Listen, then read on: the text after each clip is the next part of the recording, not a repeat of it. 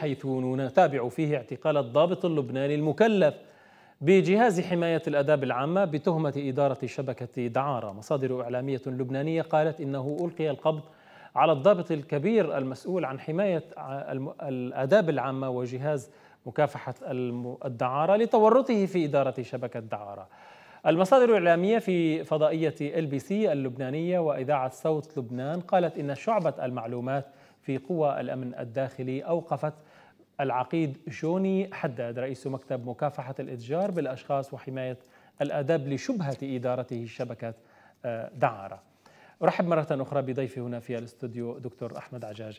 هل هناك يعني حيثيات كافية على الأقل لتوجيه اتهام لهذا الرجل المسؤول عن جهاز آه، مكافحة الدعارة بالتورط بإدارة شبكة يعني الدعارة؟ يعني من الناحية القانونية نقول أن كل ما قيل عنه أنه اعتقل للاشتباه به. أي أنه لم توجه له تهمة رسمية بعد.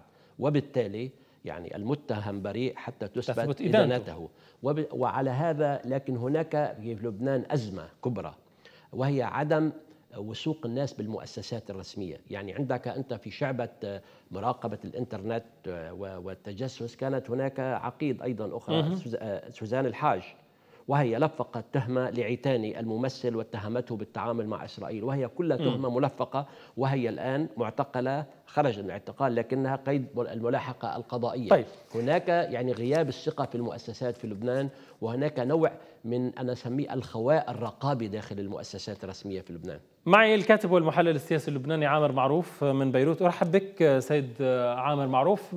الشارع اللبناني كيف يعني كان انطباعه تجاه هذه القضية. مرة أخرى نؤكد بأنه ما زال هنا الاتهامات هي لم تثبت حتى الآن على ذلك الرجل. نعم آه، يعني دائما الشارع اللبناني ينقسم على نفسه إذا أي قضية آه، تطرح لا سيما إذا كانت قضية جدلية. آه، أعتقد بأن الموضوع هو مثير للجدل من عدة نواحي، هل القضايا دائما في لبنان؟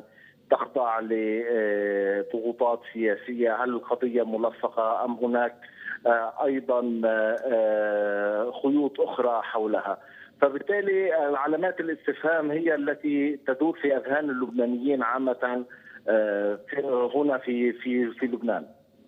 طيب الآن هذا يطرح التساؤل على مؤسسات الدولة اللبنانية ما مدى مهنية هذه المؤسسات، مصداقية هذه المؤسسات في الملفات التي تتحملها. البعض يقول أنه آه، إذا كان حميها حرميها فكيف سنثق في الدولة؟ علينا أن نميز آه، أخي الكريم بين أمرين، بين كفاءة آه، الأفراد والأجهزة الأمنية وبين ما يمارس على هذه الأجهزة من ضغوطات وأيضا آه، نقطة آه، إضافية الفساد الذي يستشري في بعض مفاصل هذه المؤسسات. في لبنان هناك أجهزة أمنية يرفع لها آه، الرأس وأيضا لها لها إنجازات عديدة في في العديد من الإنجازات الأمنية وأيضا إنجازات كشف شبكات تجسس للعدو الإسرائيلي. وأيضا هناك إخفاقات عديدة. هناك كما قال ضيفكم في الاستوديو قضية تلفيق التهمة للممثل العتاني من قبل. يبدو إنه أحد لا يريد آه، تمرير هذه فضيحة. المعلومة. على كل حال آه، ال ال ال تفضل حدث تشويش في الخط. آه، هل هذه هذا الشكل من الفضائح ألا يطرح تساؤل عن البعد الأخلاقي أيضا في هذه المؤسسات نفسها؟ يعني هل مثل هذه المؤسسة والجهاز بالأساس تعتقد بأنه كان موجود وضروري في المجتمع اللبناني؟ أعتقد هناك أزمة ثقه الآن حاليا بين يعني بين اللبنانيين وكافة الأجهزة الامنيه مردها الفضائح التي تتوالى بين فينة وأخرى.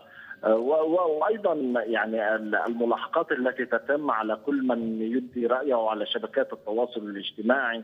أيضا هذا يرسم علامات استفهام على مدى تدخل الساسة بحرية اللبنانيين. وأيضا بمحاولة تكميم أفواههم ومنعهم من إدلاء آه، آه، نعم. رأيهم على الرغم من أن لبنان يعني معروف بأنه بلد الحريات كما يقولون وبلد الديمقراطية وهنا أعود إلى ما قاله ربما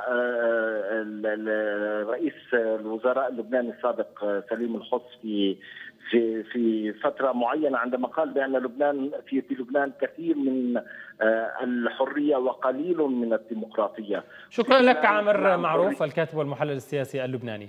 آه، ختاما هذه المسؤولية الأخلاقية لبعض المؤسسات، هل تعتقد بأن هي دور الدولة أن تضع ناس يراقبون على هذه المسائل بحيث أنه آه، يعني الأزمة في مثل هذه المجتمعات يبدو أنها ليست في مكانها، المجتمع يجب أن يكون محمي اخلاقيا.